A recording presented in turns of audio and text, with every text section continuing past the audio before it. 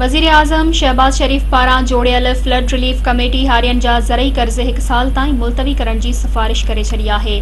कराची में आबी वसीलनि वारे वफ़ाक़ी वज़ीर ख़ुर्शीद शाह जी सदारत हेठि फ्लड रिलीफ कमेटी जो इजलास थियो। इजलास में वफ़ाक़ी वज़ीर रियाज़ पीरज़ादा अॻूणो वॾो वज़ीर क़ाइम अली शाह अॻूणो गवर्नर सिंध मोहम्मद ज़ुबैर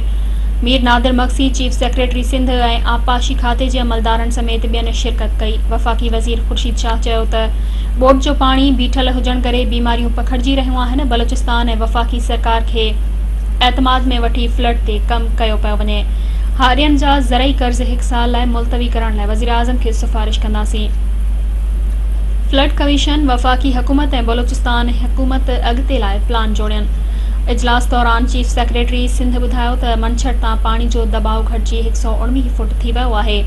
पाणी को बि इलाइक़ो जो ख़तरो नाहे। पाणी कुदरती वहकरनि ऐं डी वॉटरिंग ज़रिए कढियो वेंदो।